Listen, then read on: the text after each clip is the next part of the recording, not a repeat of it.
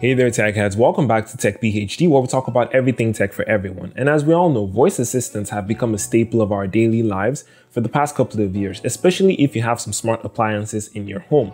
We use our voice assistants to turn on our lights, our refrigerators, and things like that. And there are a ton of voice assistants nowadays. We have Google Assistant, we have Siri, we have uh, Cortana on Microsoft products, we have Alexa, and we even have Bixby, right? And Samsung, being a company that tries to be as independent as possible, has tried to make different iterations of voice assistants over the years as well, starting with S Voice and then with Bixby. And we all know how Bixby was received, right? It was not as polished as we expected it to be. It was nowhere near Google Assistant or even Siri. Even simple tasks like uh, text to speech were a problem for Bixby to handle. But Samsung never really gave up and they really wanted us to fall in love with their voice assistants, even going as far as to put a dedicated Bixby button on several of their flagship smartphones. And they even went ahead to improve some of Bixby's features and then add some useful features like Bixby routines and so on and so forth.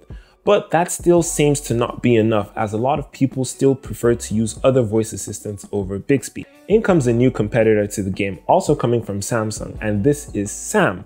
Like I mentioned in my previous video, Samsung Sam is their all new voice assistant that has been animated by Lightfarm Studios and she looks very, very interesting to say the least. And she's different in the sense that she actually has an appearance. Unlike Google Assistant or even Siri, we have a face to attach to the voice that is you know, assisting us in our day-to-day -day activity. This makes it feel a lot more personalized and it makes it feel like you're actually interacting with another individual even if it's just AI. Now think about in a couple of years when holograms will become a lot more well utilized, Sam could become a forerunner to a reality where we are all able to interact with our virtual assistants the same way Master Chief from Halo interacts with Cortana. Doesn't that seem really interesting to you? I mean, it's better than just talking to a giant shapeless blob or sphere like Jarvis, for example.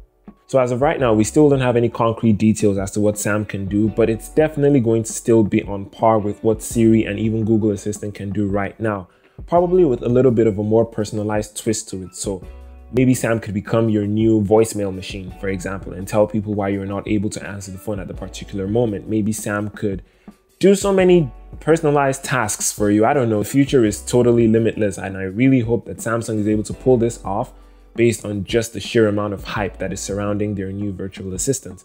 Now, I've seen a lot of Reddit memes concerning Sam, ranging from innocent memes like people saying, oh, how can I trade in my iPhone for a Samsung device, to more adult content concerning Sam, if you get what I'm saying.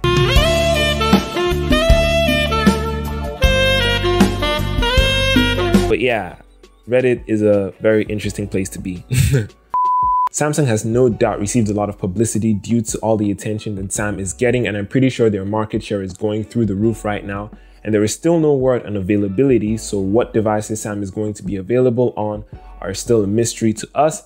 But I would personally really hope that they would be able to roll out this feature onto all devices running One UI, but only time will tell. So let me know what you think about Sam in the comment section right below the like button. Do you think she's gonna put up a good fight against Google Assistant and even Siri? Do you think she's the ultimate waifu? Because as an anime nerd myself, oh my goodness, I waifu Sam a lot. But that aside, yeah, if you haven't subscribed, please make sure to do so as you're helping the channel out a lot. And with that said, you stay cool, stay safe, wear your mask as always, and I'll catch you in the next Tech PhD production. Peace.